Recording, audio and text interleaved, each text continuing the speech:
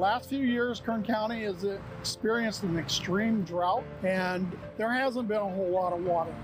Luckily, this last winter, we've received a large amount of rainfall and snow packed in the mountains. The water is, in the Kern River is currently flowing at a very fast rate. It's at the very top. Uh, our customer has decided that uh, there had to be a way to capture the water out of the Kern River. We initially got the call from our customer to do an installation to transfer the water uh, coming out of the Kern River. We sat down with our engineers. We calculated approximately how much water that we could actually pump. Uh, we came to the conclusion that we could do a little over 200 million gallons per day.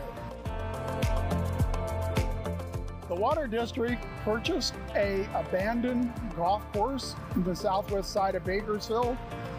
They're using the golf course uh, to store water in some of the ponds.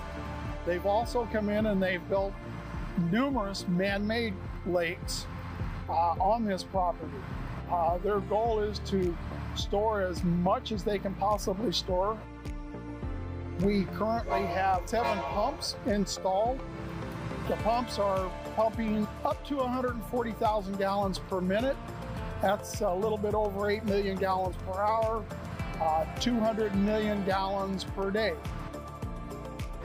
You know, this has been a, a lot of fun uh, designing something that probably nobody else in Kern County could do other than Rain for Rent as far as pumping the water.